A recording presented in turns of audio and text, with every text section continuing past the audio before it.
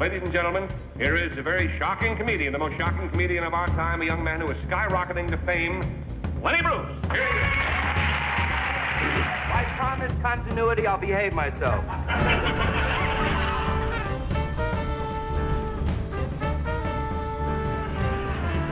Lenny set the bar for comedy for everybody. He opened the door for anybody who ever stands in public and speaks. But you might be interested in how I became offensive.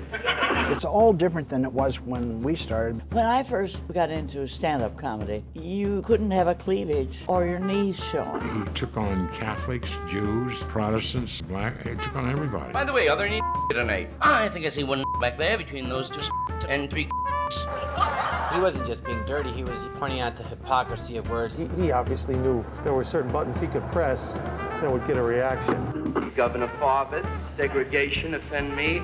You didn't know for sure what was going to happen on the night you went. In one of his anecdotes relating to New York policemen.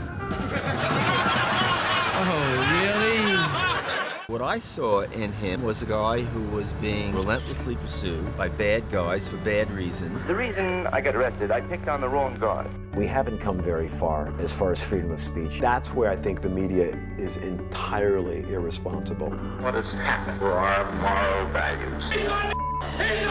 A nappy-headed we're in Nuremberg and they're trying people for comedy crimes. I don't think things have changed very much. For a different set of reasons, it's the same result, and that's scary. Lenny, when you watch him, so far ahead of his time, just so far ahead of his time.